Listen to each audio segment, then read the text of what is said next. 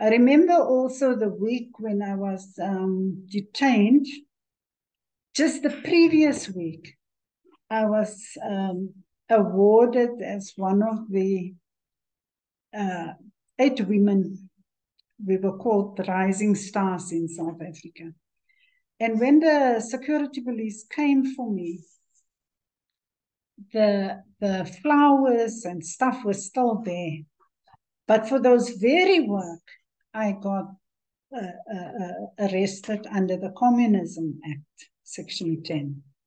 So, so it is confusing, but you have to know. And the other thing is that I know for sure, uh, with the detentions and everything, there are consequences.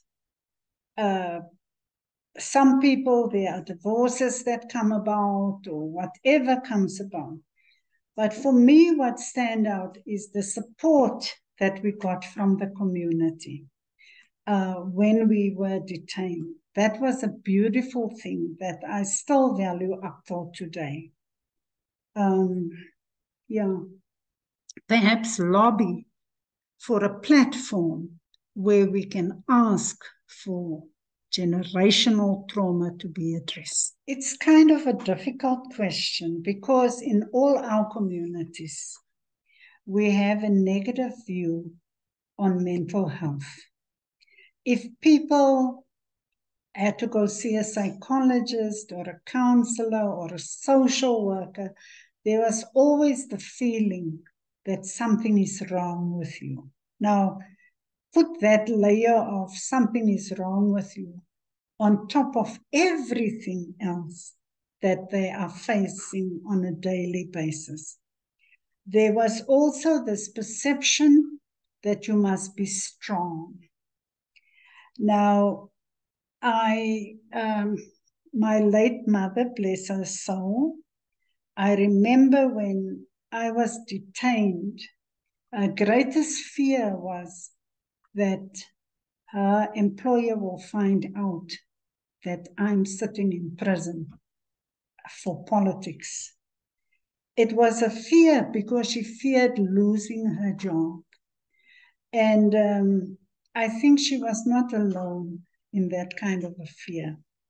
So, so I always admired the communities who understood that to be detained to be arrested for fighting for justice is not a shame.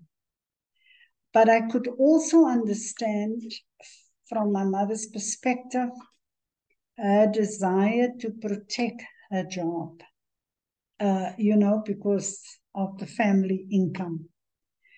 Uh, but these were some of the things. And I think people would sit around the table neighbors, they would talk and uh, uh, so forth, but they they didn't really deal with this, the issue. You found, for instance, a lot of smoking, a lot of drinking as coping mechanisms. The activists, I would say, um, they had one another. They could at least relate at a similar level in terms of what was going on, in terms of the planning. Now, I, I, I, I want to tell this story. Um, I graduated from UNISA um, this particular year. Uh, I've done communications. And so I wanted to have a party at my house to celebrate. But this was during the time of uh, Soweto burning, right? And all the, the uh, feelings and so on. Now, my colleague, who was very supportive of me at the time at UWC, was Tim Jenkin. I'm also glad to say that um, people eventually uh, got to a point where we had to educate them what it means what are the differences between being a political uh, a detainee versus remember we lived in communities where we had our tough guys who often had to go to, to prison for, for criminality. Uh, so we had to, to, to help them understand. And that was also an educational process uh, for, for them.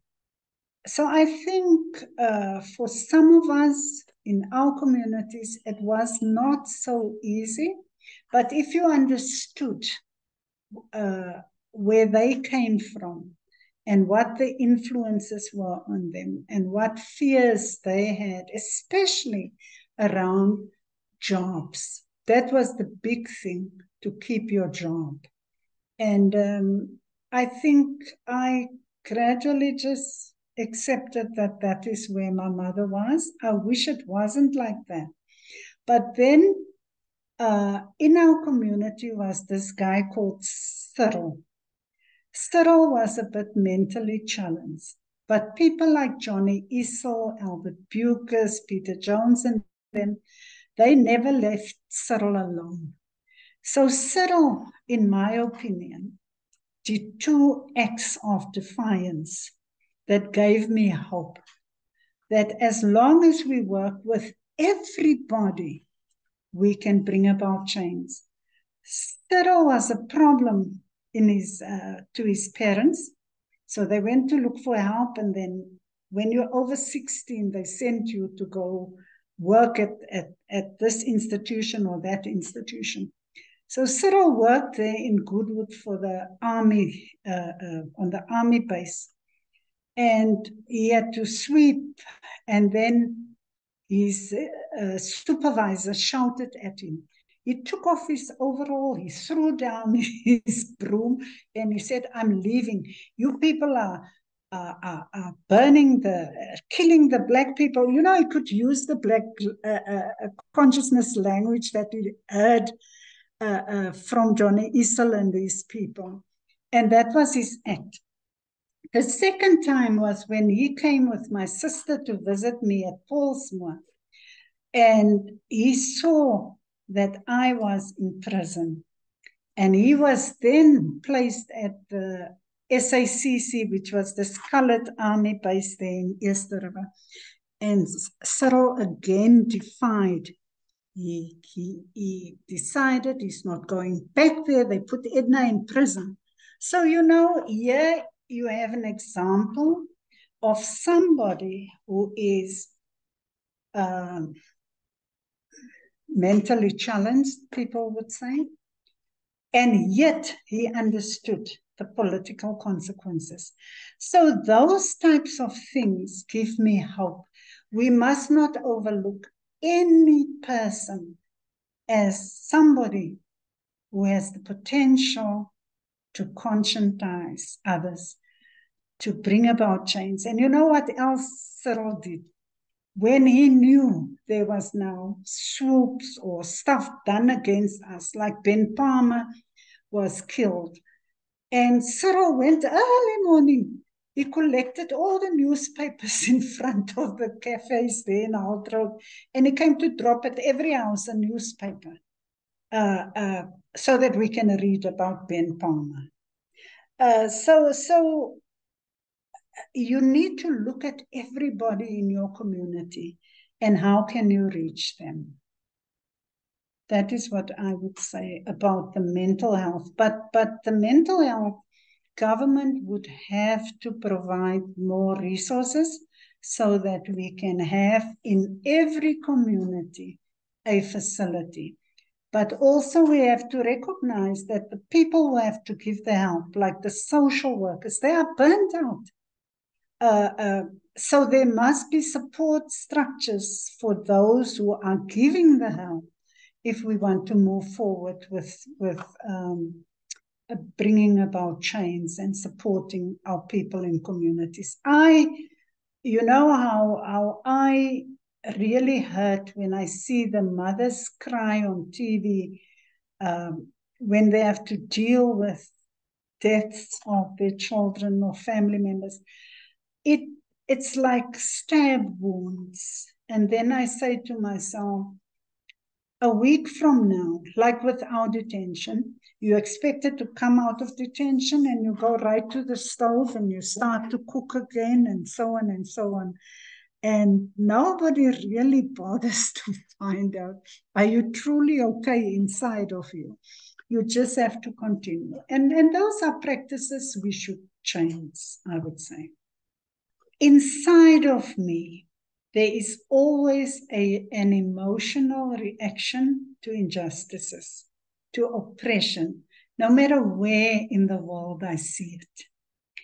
And having lived in New York and worked as a, as a psychologist, I had a different piece of the world in my office every hour.